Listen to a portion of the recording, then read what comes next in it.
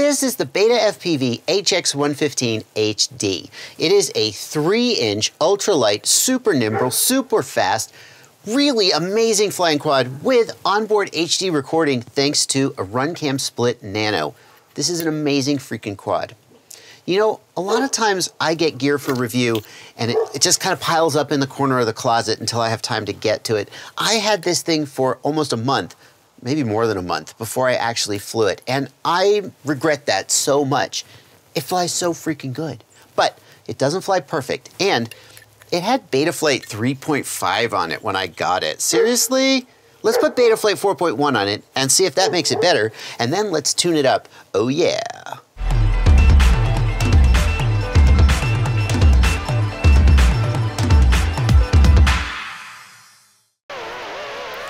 First thing I want to show you in this video is just how this quad flies on Betaflight 3.5 as I got it. And I'm actually really impressed with how well it flew.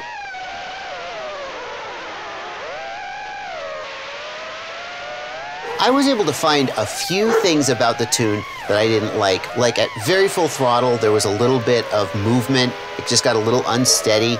And as always, the prop wash handling could be better.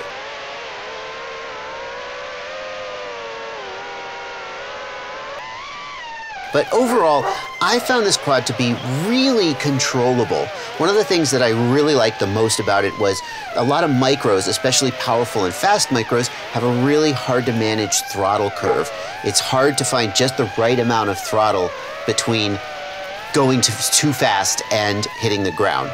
This, I found this quad to be really flyable, really controllable. But the place where I want to start this video is to show you how to put Betaflight 4.1 on this quad because spoiler, it flies better on Betaflight 4.1, at least in my opinion. So let's do that, and let's go out and take it on a flight and see how good it flies just on the Betaflight 4.1 defaults. So let's go through the steps of upgrading it. If you've done this before, you could probably skip ahead. Go to the command line, and I'm going to type diff all, and that is going to out, output my command line dump, my, my configuration dump, and I'm going to save that to a file on the desktop, or it downloads wherever, it doesn't matter. And then I'm just going to type BL for bootloader since I happen to be in the command line anyway. This is the easiest way of getting to DFU mode to flash the board. If you do that and you don't see DFU up here, you need the Impulse RC driver fixer which is a command back. There you go, which is an app that will fix your DFU driver. If you've never installed the drivers, or if you're brand new to this and you have never installed Betaflight at all, then I have a video about how to install Betaflight and how to get your drivers set up. I'll link it in the video description. Once you have DFU here, you can flash. We're going to select the Matek F411. And here in Betaflight 4.1, you have the choice between the MT, the Matek version and the legacy version. Select the Matek version. And we've got Betaflight 4.10, and we're going to load and flash. And when that's done, we should see the COM port reappear and connect. And in Betaflight 4.1, it will ask us this question. We'll just hit Apply Custom Defaults. It's just a step, a hoop you got to jump through. The other hoop you got to jump through is the first time you update a flight controller to Betaflight 4.1 only the first time, but you need to go to the font manager and you need to re-upload the fonts. And in order to do that, you need to have the battery plugged in or the OSD chip. It'll look like it worked, but it won't work. So I'm going to plug in. My props are off as far as you know. I'm going to upload the font. The next thing we're going to do is we're going to transfer the configuration over from Betaflight 355 to Betaflight 4.1 and you unfortunately cannot just dump all this stuff in. So, so what I'm going to do is I'm going to set this up and then I'm going to put a link to the command line dump down in the video description so when you upgrade to 4.1 you can just copy this stuff over. The very first thing I do when I start tuning a quad is I want to get rid of as much of the filtering as I can. Filtering is it's like it's like salt in food.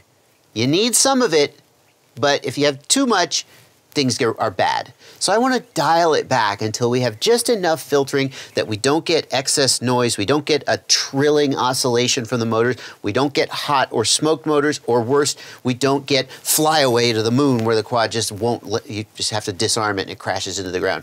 Those are all signs of not enough filtering. So what I'm going to do is I'm going to work the filter sliders in Betaflight 4.1 from 1.0 to the right until eventually they get to 2.0, which I've done. Let's see how that flies. The number one thing we did was change the filters to try and improve the prop wash handling. So let's do some fast turns and see about that.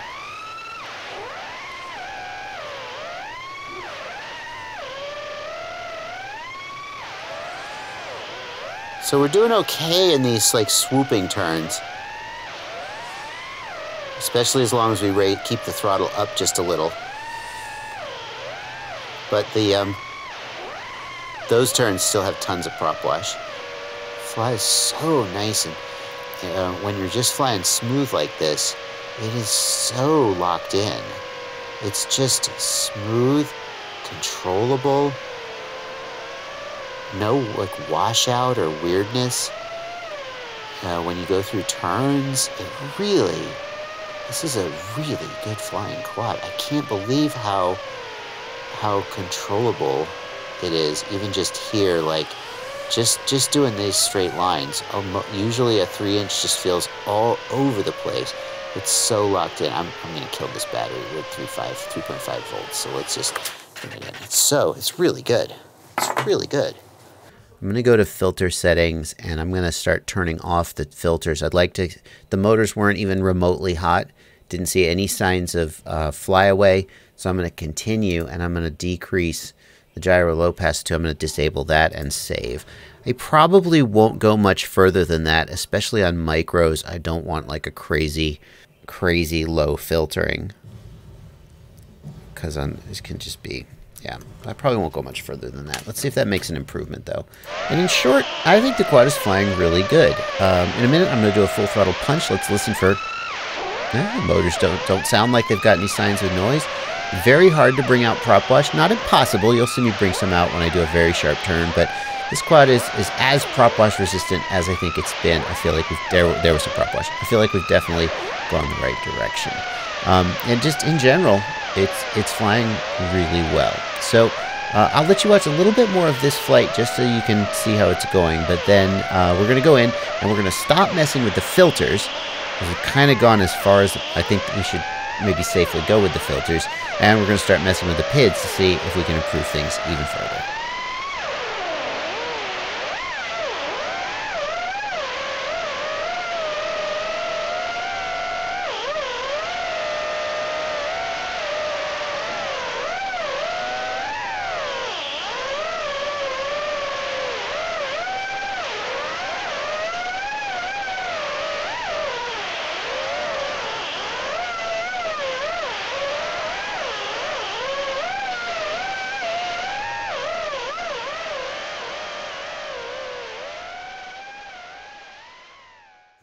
Now that we've taken the filters about as far as we want to take them, I'm going to start adjusting the PIDs. And the first thing I want to do is, the quad feels a little bit soft on the sticks. I'm going to raise the stick response gain and get a little bit of a sharper, more precise stick feel. That's not going to be something you're necessarily going to see in the video, but it, I'm going to feel it as I'm flying.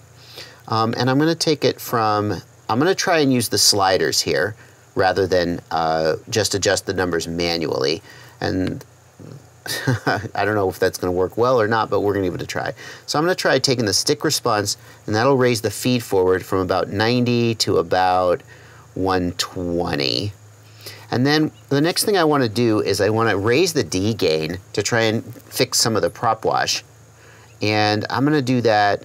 If I want to raise the D gain while leaving the P the same, the way to do that is to boost the P and D gain and then reduce the PD balance. So we're going to want the P to be at about 42, 46, 30. So we're going to boost the derivative. I'm looking at the D gain numbers now. We're going to take them up from about 35, 38 to, we've raised them by about 10. There you go, that's about 10. And now I'm going to take the PD balance down to bring the P gain back down to approximately where it was. I don't want to add P gain because that's going to make prop wash worse. I kind of want to just add D gain while keeping P gain about the same. So why not just type numbers in? Well, because we're going to try the sliders and just see how they work.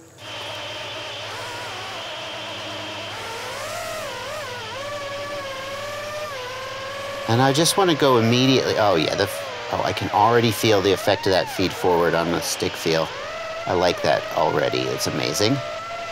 By raising the feed forward, we could have caused bounce back. So let's check some snap moves and see if we get bounce back. That's pretty good. I don't see any bounce back there. The quad, you can't, can't do it if you can't uh, judge bounce back if you're looking at sky. A tiny bit of bounce back on pitch, but overall it's pretty good. What about sharp turns now? I really want to be able to hear the motors. Unfortunately, I'm a little far away and it's a little quiet.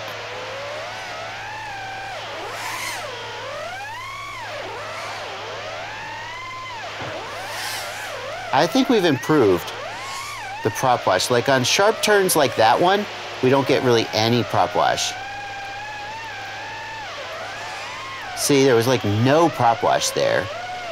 We can probably bring the prop wash out Wow, no prop wash there, at least from, from my perspective. Maybe you'll hear it on the, on the onboard recording.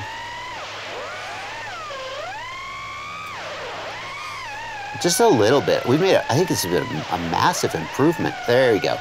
I got a little bit there. But as long as I'm not going like just straight back into myself, there's almost no prop wash. Let's just do some normal flying. See right there? That's a place where prop wash, let's do a power loop. That's a place where prop wash can often happen. Smooth as butter.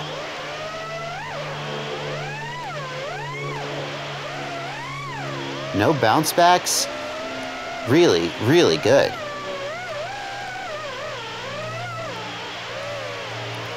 Let's see how controllable it is. Oh, the higher feed forward is so much better.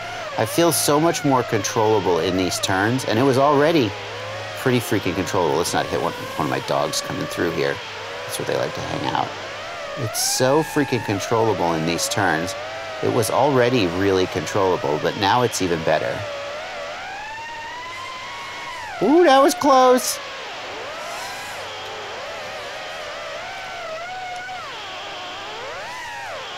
I love the throttle response in this thing. All right, that's a battery. And the motors are not hot. It's about mm, 65, 70 degrees in Freedom units today. Um, it's, not, it's not a very hot day. The motors aren't hot. They're, they're slightly warm, so I feel fine with this.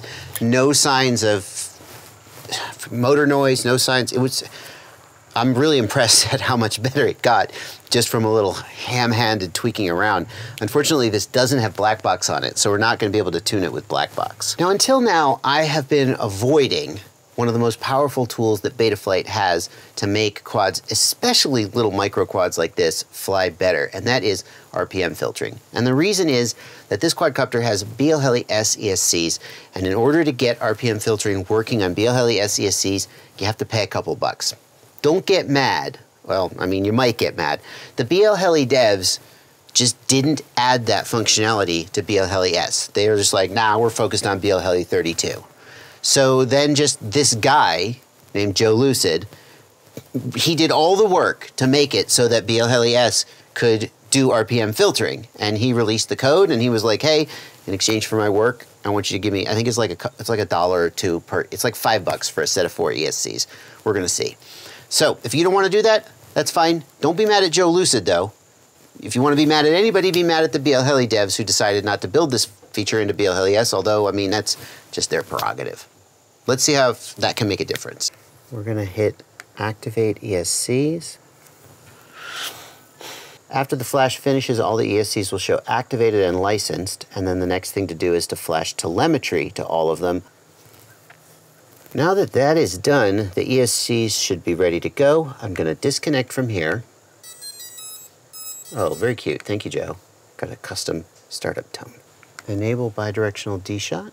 We'll go over to the motors tab. We'll plug in a battery. And we should see the error percent go to 0%. It's not working. All right. See, it's not reading it. Seems like bidirectional D-shot isn't going to work on this one today. Um, I tried setting it up, I got through all the steps, and anytime I enable RPM telemetry, the ESC just doesn't see the signal. So I don't know if that's an issue with this flight controller, this ESC, or whatever, but I guess that's going to have to be a topic for another day. In the meantime, this is a great tune. I feel like this quad is flying amazing. Could, we try disabling the gyro filter to get, yes, let's do that. Let's do that. Let's disable, let's just go bonkers. Let's disable that gyro filter that I said was too risky. See if we can make this quad fly even better. Yeah, yeah, yeah, yeah, yeah. I'll make up for not getting JESC, JESC working by just, you know, doing a little, working without a net. Let's do it. We're gonna go to PID tuning. We're gonna go to filter settings and we're gonna disable this gyro filter. No, no, I'm smarter than you or dumber. and save. Let's fly it.